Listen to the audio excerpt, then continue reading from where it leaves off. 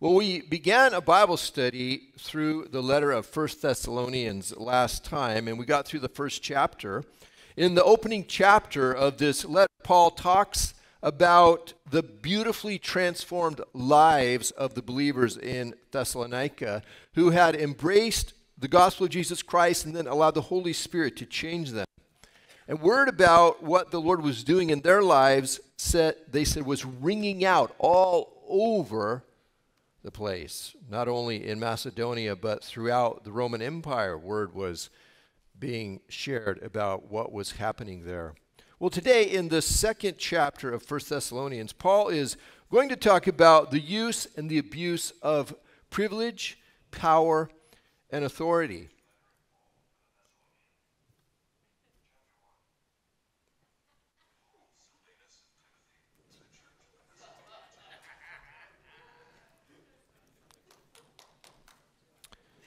Paul is going to talk about these things as they related directly and personally to himself and the people in the church at Thessalonica. But we'll be able to draw application for our own lives from his example. This topic touches all of our lives on some level, doesn't it? I mean, almost all of us have or will have at some time some kind of privilege, power, or authority over someone else. It might be a parent, a teacher, a boss. You're a leader of some kind in some kind of context. And the attitudes and the principles that we observe in this passage of Scripture, they can be applied in almost any area where we will hold a place of privilege, power, or authority over others.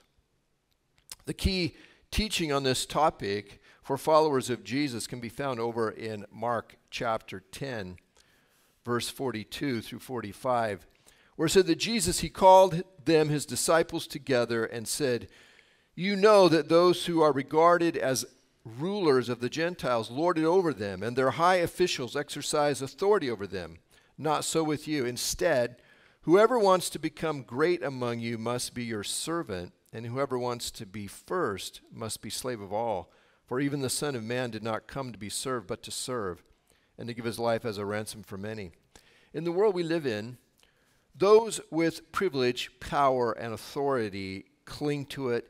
They create systems to protect it and maintain it. And they use it to benefit themselves, firstly, even at the expense of those underneath them. In the kingdom of God under Jesus, it's not supposed to work like that, though. Instead, the ones with privilege, power, authority are to use it to serve those in their charge, protecting, providing for, and benefiting them, even at their own expense. We're told to follow the example of Jesus, who did not come to be served, but to serve and to give his life as a ransom for many. So, Second Thessalonians, or I mean First Thessalonians chapter 2. I knew I was going to get that switched around. First Thessalonians chapter 2. In this chapter, Paul is defending himself and those with him against accusations being made that they were not to be trusted, that they were trying to take advantage and to rip off the people of Thessalonica, that they were just like the other charlatans and swindlers and frauds that made their life living traveling from town to town, selling their stories and their claims of hidden truths and discoveries, preying on the gullible and the weak minded. The people instilling these accusations against Paul were probably the same people who had instigated the mob riots that got him and Silas driven out of Thessalonica in Acts chapter 17. It was a group of Jews in that city who were very jealous of Paul. After leaving Thessalonica, Paul and Silas went further west about 40 miles to the city of Berea, and they began preaching about Jesus there. And you might remember that Luke, who wrote the book of Acts, said that the Jews in Berea were of more noble character than those in Thessalonica, for they received the message with great eagerness and examined the scriptures every day to see if what Paul said was true. And as a result, many of them believed. Well, the Jews of Thessalonica, they hated Paul so much that when they heard that Paul and Silas had gone to Berea and they were teaching about this Jesus there, they went to Berea and they instigated crowds against them, forcing Paul and Silas to leave Berea as well. This same group of people have apparently continued to do whatever they can to discredit and malign Paul in Thessalonica, and they have instigated persecutions against the new Christians in their city. This has motivated Paul to present a defense of his ministry and methods in this letter and to strengthen and encourage the Thessalonian believers in the things that they believed. Paul begins by reminding the Thessalonian believers of those first days that he was with them you know, when we find our minds swirling and questioning and doubting, it's good to just step off that merry-go-round and remind ourselves of those early days when we came to faith in Jesus, where we were at, what we were like at that time, what He did for us, where He's brought us from that point. And this is, in effect, what Paul is doing here in 1 Thessalonians. Beginning in the first verse, he says, You know, brothers and sisters, that our visit to you was without. What, you know, brothers and sisters, that our visit to you was not without results. Paul reminds them of the impact that his visit to Thessalonica had on their lives. He says, Look at your own lives and the change that God has done in you. You know from firsthand experience that we're not frauds. Paul had not come riding into Thessalonica making a bunch of wild claims like some snake oil salesman and then ridden off into the sunset with his pockets full of their money, having swindled them. Instead, he shared with them the message of salvation through Jesus Christ. They believed, and the Lord changed their lives in a profound and real way. Paul reminds them in the second verse about how he came to Thessalonica and how he was treated when he got there. He says, We had previously suffered and been treated outrageously in Philippi, as you know. But with the help of our God, we dared to tell you his gospel in the face of strong opposition. They had been treated outrageously, it says in Philippi. Paul was a legitimate Roman citizen, which gave him certain rights and protections under Roman law. But in Philippi, he and Silas had been stripped and beaten with rods in the public square and then put in prison with their feet fastened in stocks. That kind of treatment was never to be done to a Roman citizen, especially without due process to determine their guilt or innocence. Their rights had been terribly violated. Well, when Paul and Silas got to Thessalonica, they encountered a great deal of opposition from this group in the Jewish community. But despite the troubles that they face in Philippi and then again in Thessalonica, he says, with the help of God, we dare to tell you the gospel. And the Lord was faithful, doing great work, changing their lives. He says, For the appeal we made does not spring from error or impure motives, nor are we trying to trick you. Paul makes three points of defense here. First, their appeal or their message, their teaching, their preaching. It didn't spring from error. It was true. It was the truth. It comes from very God rather than being something that Paul had made up in his own mind or been some accumulation of good advice collected from wise people throughout the ages. We often refer to the content of the Bible and the message about God and Him rescuing humanity through Jesus Christ as the Word of God. Why? Because we believe it is the Word of God. Second Timothy 3:16 tells us that all scripture is God breathed or inspired by God. And 2 Peter 2:21 it tells us that men were carried along by the Holy Spirit as they recorded the scriptures.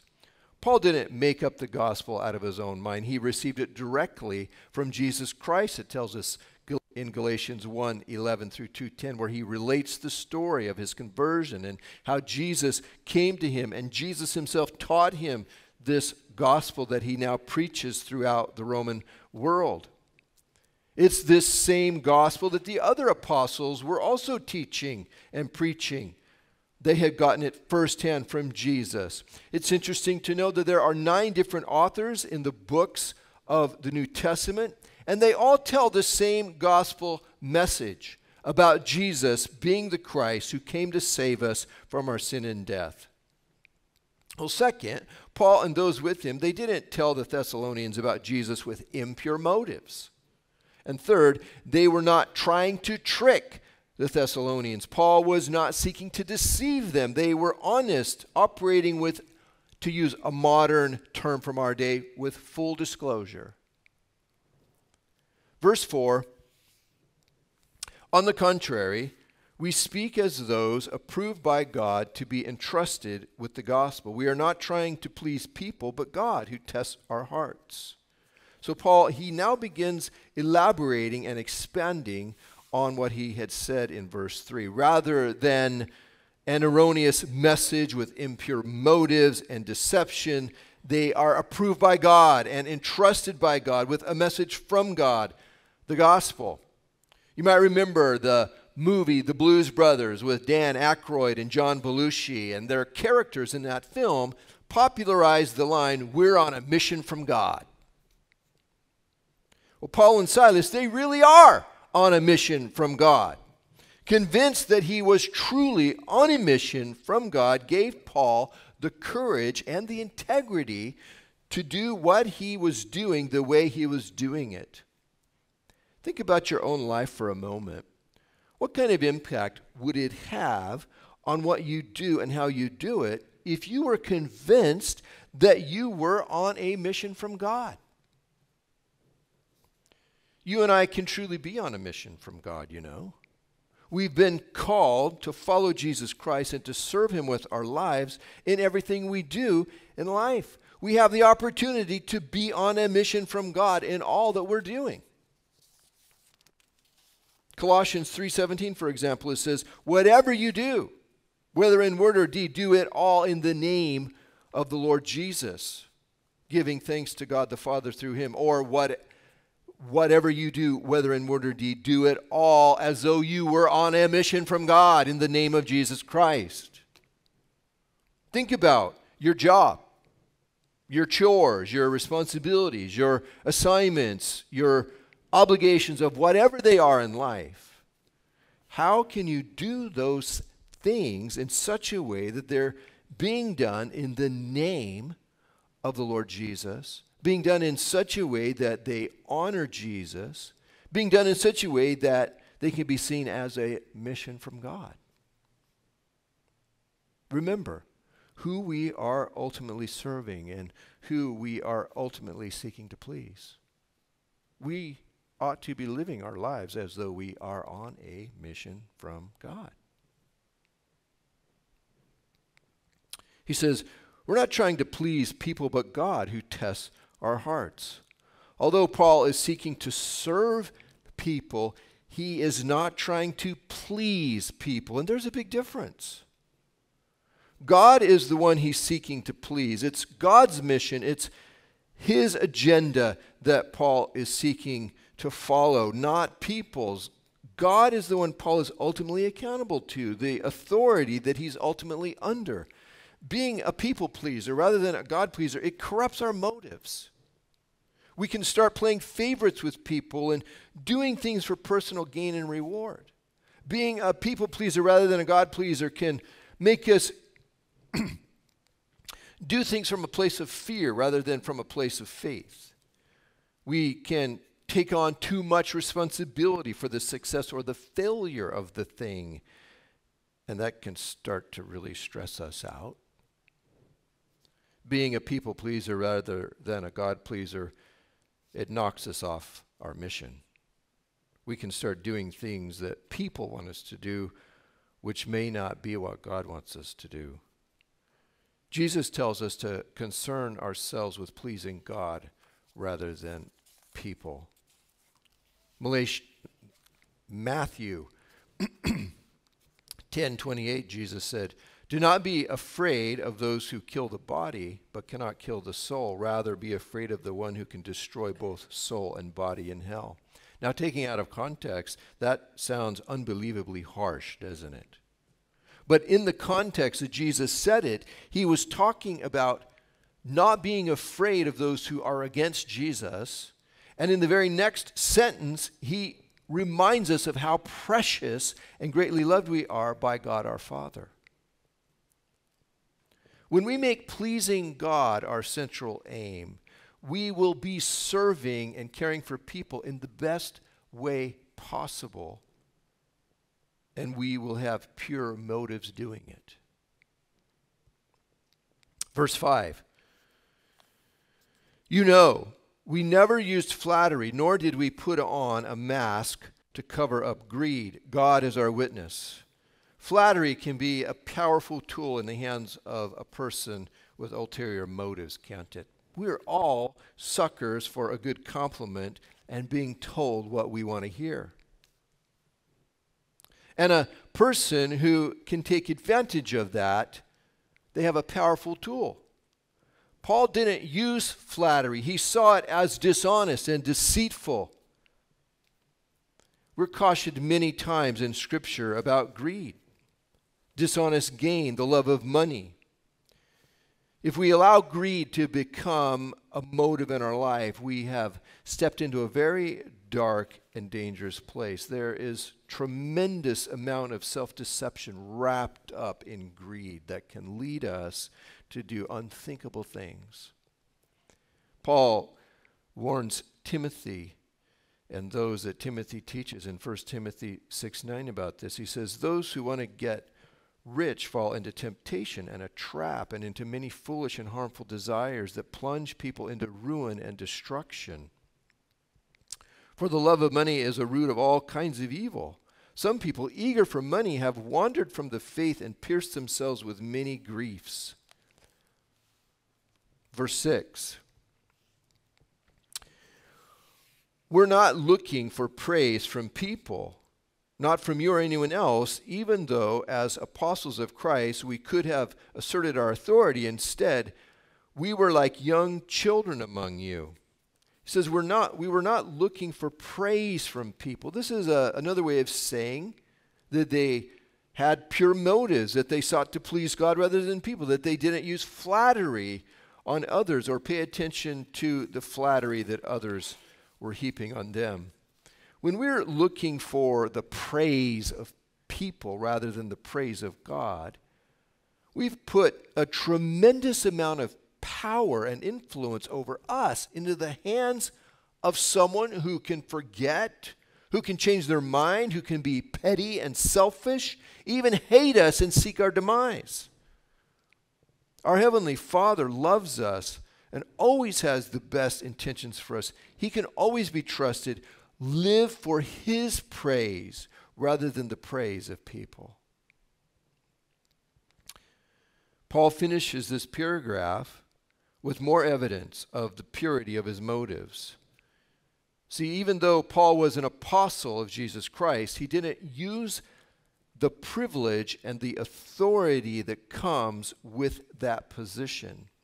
Instead, he was humble, like a young child, he said among the Thessalonians. Young children in those days, in that culture, they had no rights. They were the bottom of the pile in regards to rights and privileges.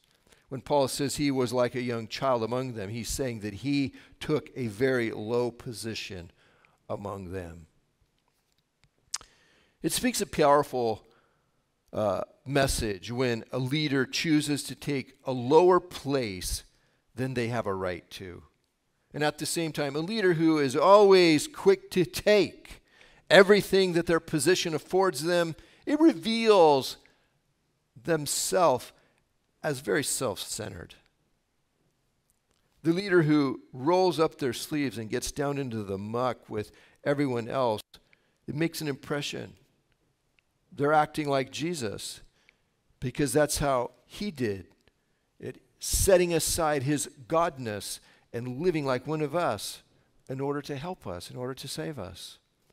The boss who's always taking full advantage of the privileges of their position, it leaves a bad taste in the mouth of their subordinates, doesn't it? I've had both kinds of authorities over me, and the ones I remember fondly are those who got down into the trenches with me.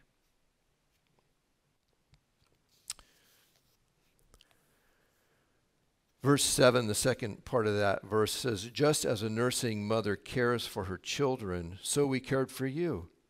Because we loved you so much, we were delighted to share with you not only the gospel of God, but our lives as well. Paul didn't just roll into town, preach a few sermons, lead a few Bible studies, and then move on to the next place. That wasn't how he he operated. Look at the terms of affection in these sentences. He says, As a nursing mother cares for her children, so we cared for you. We loved you so much.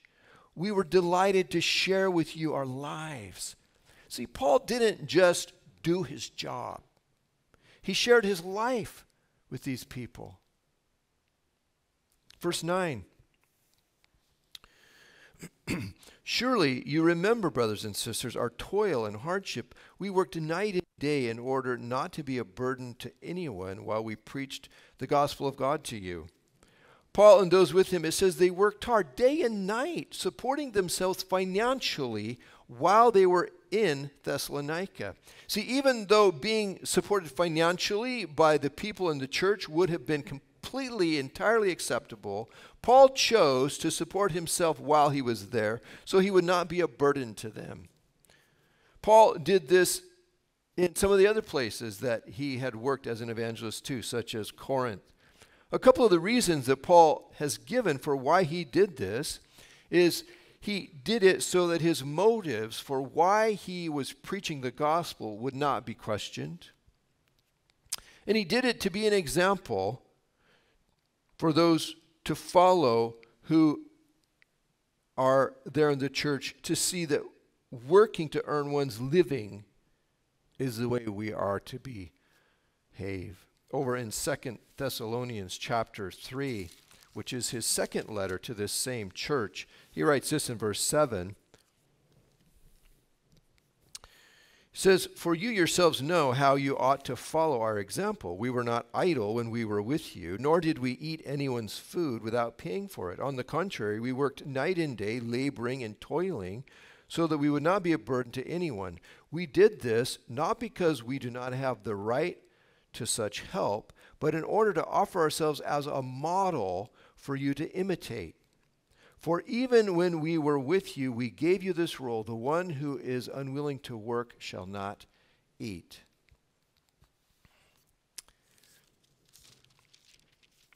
What kind of work did Paul do to support himself financially? Well, we know that he had been trained as a tent maker.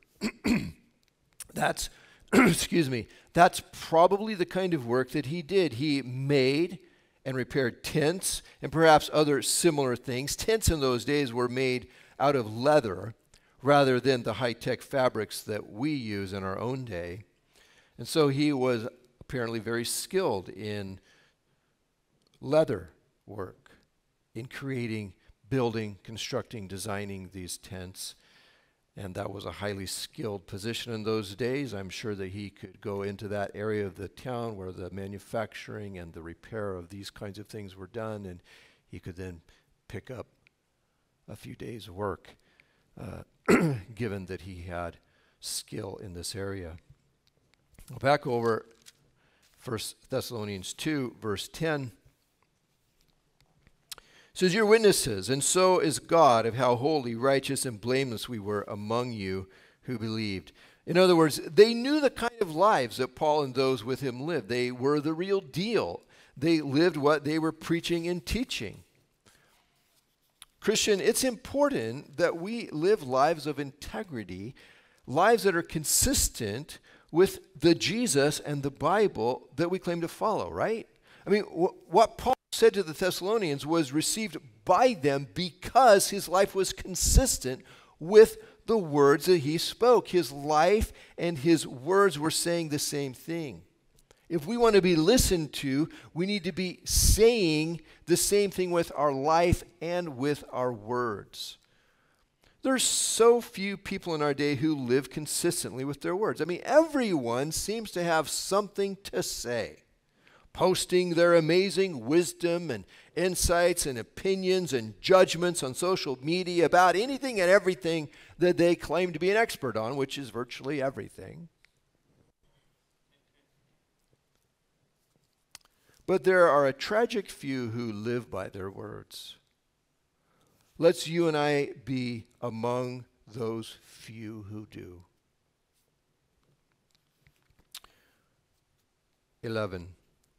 For you know that we dealt with each of you as a father deals with his own children, encouraging, comforting, and urging you to live lives worthy of God who calls you into his kingdom and glory. Again, we see this tender heart of Paul that he has for these people. He dealt with them like they were his own children, encouraging them, comforting them, urging them to live lives consistent with the things that they were now believing about God and their salvation. 13, and we also thank God continually because when you received the word of God, which you heard from us, you accepted it not as human word, but as it actually is, the word of God, which is indeed at work in you who believe. As we noted earlier in verse 3, the words about Jesus spoken by Paul, they're not just some stuff that he had thought up in his head or a collection of wise words handed down through the ages from people. It was the very Word of God, and the Thessalonians received it as the Word of God. It says, The Word of God, which is indeed at work in you who believe. The Greek word translated work is the word energeo or energio, which we get the English word energy from. The Word of God is full of energy at work in those who believe. Hebrews 4:12 it says the word of God is alive and active. That same Greek word energeo appears here and is translated as active in Hebrews 4:12. Martin Luther said, The Bible is alive. It speaks to me. It has feet. It runs after me. It has hands. It takes hold of me as an illustration of the active living energy of the Word of God, you'll remember in the very first sentences of the Bible, God spoke the creation into existence. That same alive, living, active, energetic Word of God is working in our lives too. Finally, says, For you, brothers and sisters, became imitators of God's churches in Judea, which are in Christ Jesus. You suffered from your own people the same things those churches suffered from the Jews, who killed the Lord Jesus and the prophets and also drove us out. They displease God and are hostile to everyone in their effort to keep us from speaking to the Gentiles so that they may be saved. In this way, they always heap up their sins to the limit. The wrath of God has come upon them at last. So, Paul encourages the believers in the Thessalonian church who are themselves facing persecution for their faith in Jesus. Paul tells them that they're not alone in their suffering.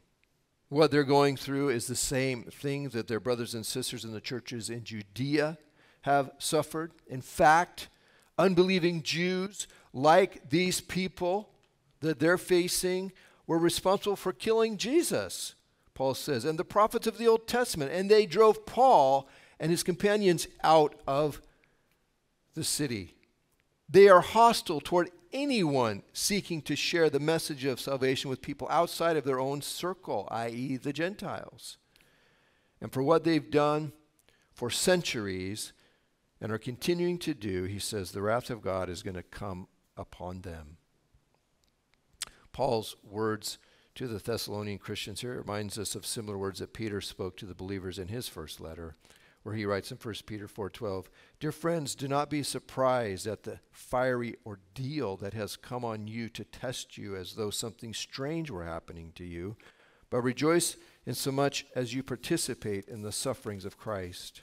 So that you may be overjoyed when his glory is revealed. If you are insulted because of the name of Christ, you're blessed, for the Spirit of glory and of God rests on you. If you suffer, it should not be as a murderer or a thief or any other kind of criminal or even as a meddler. However, if you suffer as a Christian, do not be ashamed, but praise God that you bear that name. So, in closing, I, I just want to give us a very quick summary of these attitudes and principles that we observe in Paul in this passage for how to use privilege, power, and authority. First, tell the truth. Operate with pure motives. Don't deceive. Be honest. See your life as a mission from God. Be a God pleaser rather than a people pleaser. Don't use flattery to manipulate people. Beware of greed. Don't use the advantage of your privilege, power, and authority to benefit yourself. Instead, use it to help others. Don't just do your job, share your life.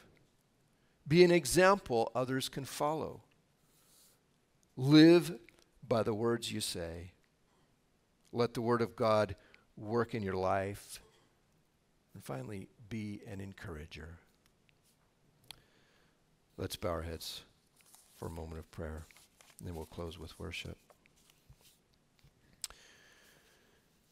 Father, we thank you for Paul's example that we have here in this chapter of how to use privilege, power, and authority that is given to us.